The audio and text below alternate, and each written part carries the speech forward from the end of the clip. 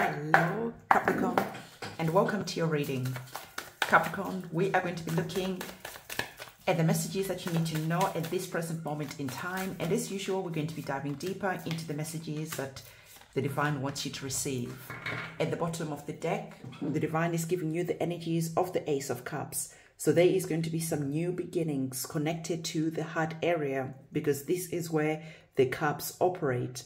So you could be seeing that you are entering a peaceful new phase. You could be seeing that maybe someone is coming in and giving you that olive branch. No matter what is happening, there is going to be a moment where you are going to be seeing your heart overflowing because the divine is literally giving you something peaceful, an opportunity that could be seeing you stepping into that energy of healing, that could be seeing you stepping into that energy of growing. So the divine is saying, just look out for opportunities that are coming in to maybe mend broken relationships, maybe opportunities to look at the past and just bringing a sense of conclusion and closure. So what we're going to do is we're going to pop this card to one side and we're going to be getting another set of tarot cards to elaborate the messages that are on the table a lot further. As I'm getting our cards, I want to remind you that we have our candle magic ceremony that is going to be happening on the 13th of November. And as usual, you're going to be invited to this. This is going to be a new moon and this is an opportunity to plant our seeds of intentions about what it is that we're wanting to happen so everything that you're going to need to know about the new moon ceremony is going to be linked in the description box below. I do cord cutting ceremonies, I do return to sender ceremonies. There's a lot more offerings that are available on my website. And again, these are linked in the description box below. So let's have a look to see at the bottom of the deck what you are currently are not seeing at the moment and what you should be focusing on. You're receiving the energies of the devil card. The devil card, like I said, connected to the energies that we've already seen with the Ace of Cups. The divine is saying that there is going to be some conclusions. Some of you, you're going to be cutting the cords. You're going to be moving away from narcissistic people, narcissistic energies. Because understand when we're looking at the energies of the devil, it is that energy where you allow people to take your power away, where you allow people to even use you. So the divine is saying that it is going to be important for you to start putting up some boundaries, speaking your truth and allowing yourself to move away from situations where you feel powerless or where you're allowing other people to harness your energies. This is what the connection to the first card that you had of the Ace of Cups. So the divine is saying as you are moving away from narcissistic energies, as you're moving away from these dark and heavy energies from the devil card, you're going to be seeing that you start to enter that peaceful new chapter where your cups are overflowing. I feel that for some of you, maybe you could be even be allowing yourself a moment to cry so that you can cleanse these energies that are here. Because crying is not a weakness. Rather, it is a sign that you have been strong for way too long. So the divine is saying that I am going to be coming in and giving you this peace offering. It is up to you to open up your hands and to accept this new peaceful chapter that is going to be allowing you to move away from these heavy and dense energies that are here. So I really like those energies for you because I want you to observe the cards that we have on the table. You have the energies of the Five of Swords. So there is indeed something manipulative that has been going on. There is something that is being heavy on your heart, on your soul. Because observe the energies that are here. We're sort of like in a derelict type of area. We're sort of like in those dodgy type of neighborhoods, right? And you know when you're in those dodgy type of neighborhoods, you just feel like anxiety. You feel like you cannot relax. So some of you, the divine is saying that you have been stuck in a dodgy type of era where you have been allowing situations to get the better of you.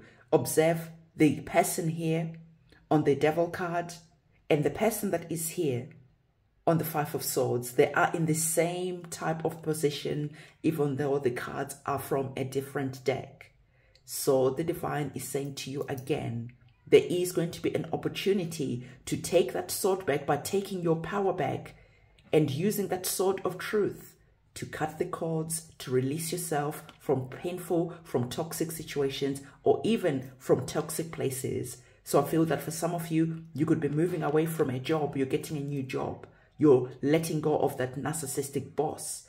You're letting go of that toxic work environment. For some of you, you could be moving into a better neighborhood, neighborhood. But nonetheless, the divine is saying that there is an opportunity that is here to put a closure, okay, to this destructive type of energy. Because when we're dealing with the number fives, these are chaotic type of numbers. They bring a lot of anxiety. They bring a lot of chaos. The number fives brings a destruction to the fours. The number fours brings stability and the number five destroys that stability. So as you're walking away from the number four, fives and walking into number six, you are going to be able to build yourself. You are going to be able to enter this peaceful new chapter that I spoke about. So observe, we've got our number one and we have our number one that is here. Observe that we have our number five and we have our number five that is here. So even though our cards are major arcana cards, minor arcana cards, they're all bringing the same type of energy that we're talking about with the devil card. So the number six, like I said, you're building yourself, you're picking up the pieces, and you're entering this new chapter that we've already spoken about. So I want you to comment in the comment section 1515 to really bring in those energies of the number sixes. Okay, so let's pop that card to one side and let's look at the other cards that are here. Because not only are you rebuilding, not only are you taking your power back, there is a lot of beautiful energies that are here. You even have a major arcana card of the Wheel of Fortune. So the Divine is saying, Capricorn, listen up and listen up well. The winds of change have started to blow already. I think you got this card in a couple of readings where we're talking about leaving these dense and heavy energies and entering into a lighter new chapter. You have to take the opportunity to bring in and to usher in these energies into your life. How do you do that? You take that dice and you throw that dice. You take a chance on life and you activate the energies of the Wheel of Fortune by taking the hand of Lady Luck because the Wheel of Fortune, Lady Luck is always walking with you. So you take the hand of Lady Luck and you start journeying and you start moving and you start going into this peaceful new chapter that we spoke about. Because observe, you've got the number 10 that is here. And when we bring this to a single digit, it goes back to the number one. So again, the divine is emphasizing the number one, that new beginning. It's emphasizing the energies of the Ace of Cups. So again, you're leaving behind all these toxic and heavy energies. You are leaving behind the energies of the other major kind of card that is on the cards, which is the devil card. You are leaving this behind and you are moving, you're shifting, you're transforming into these energies of the lighter energies, which is being brought about by the Ace of Cups, which is being brought about by that dove, that symbol of peace that is here. You can see the white color that is there, which is that symbol that I'm talking about, where you're shifting, where you're moving, where you're transforming. So there is that moment where I feel that sometimes you have to accept that right now you're in your caterpillar stage and then you're going to be shifting into that cocoon where you're healing, where you're looking back at everything that transpired and bringing an energy of understanding to how this situation, how it happened, how maybe you allowed it to happen, and how you finally took your power back and you were able to cut those cords and release yourself so that you can enter into this peaceful chapter that is here. So it is always important to have a moment of reflection because by allowing reflection, you allow yourself to learn, you allow yourself to grow, you allow yourself to look back, and you allow yourself to give yourself that pat on the back to say, I was powerful enough to take my power back. And now, as I go into this new chapter that is here, I'm never going to allow myself to find myself in a similar position, in a similar situation so I emphasize again that it is really important when you're in that cocoon phase to take a moment to look back at everything that happened here, to see the lessons that you've learned from maybe the mistakes that you might be perceiving that you made. But the divine is saying, don't look at it as a mistake, but rather look at it as a time of learning. And you are learning, and through learning, you're able to grow And through learning, you don't allow yourself to put yourself in a similar situation. When the red flags are starting to fly, you excuse yourself, you cut yourself off straight away because now you're able to repeat, you're able rather to see the repeating patterns. And even though that devil archetype might come dressed as a different person, when you lift the veil, you see that it is a similar type of person, it is a similar type of situation that is asking you, have you finally learned the lessons? And if you haven't, you find yourself tempted to go back. And before you know it, you're repeating that karmic cycle, you're back on that wheel. So the divine is saying again, it is really important for you to understand why you're receiving the energies of the wheel of fortune. And it is important for you to understand everything that has happened and transpired up until this point. You are going to be using this as a stepping stone to all these beautiful energies that are here. Look at all the marvelous energies that are here. You have the energies of the Queen of Wands. Finally, you're in your power. The sun is rising. You've claimed your crown back. That new horizon is there. The energies of the wands are about passion. They're about fire. They're about drive. And now you're feeling empowered. You're feeling passionate. And as you're looking back at whatever happened here, you are not feeling sorry for yourself, but rather you are thankful that this situation happened because it allowed you to upgrade yourself through the lessons that you learned. So as you look back at the past, don't beat yourself up, okay? But rather understand that sometimes we have to go through challenging situations so that we can learn, so that we can grow, so that when we are doing better, we know how to create boundaries so we don't allow people to enter our spaces and to ruin what we have. I love that not only did you get the energies of passion, fire, drive, you also have the energies of the Queen of Pentacles. This is all about your health. This is about your wealth. So not only are you moving into a chapter where you are feeling passionate, where you're excited about life, you're also moving into a chapter where your money is growing, where you are feeling good, where you are standing and sitting in your power, and you've claimed your power back. So I really, really love these energies. And I love the energies more that you have our two divine feminine energies that are here of passion, fire, drive, of money, of health, of abundance, of resources. And you also have our energy of the king. So there's a balanced type of energy that is here. You've got your queen that is here of wands, and you've got your king of wands that is here. So the divine is saying that your ancestors are going to be walking with you. They're going to be proud of you. You're going to be embodying that Leo energy. You're going to be showing up. You're going to be present. And you are going to be allowing people to see you. Because before you were hiding away, before other people were utilizing and they were taking your power and they were using that to maybe make money, okay? Because You've got your pentagram that is here and you've got the same type of energy that is there. Again, these are two different decks, but the energies are very much the same.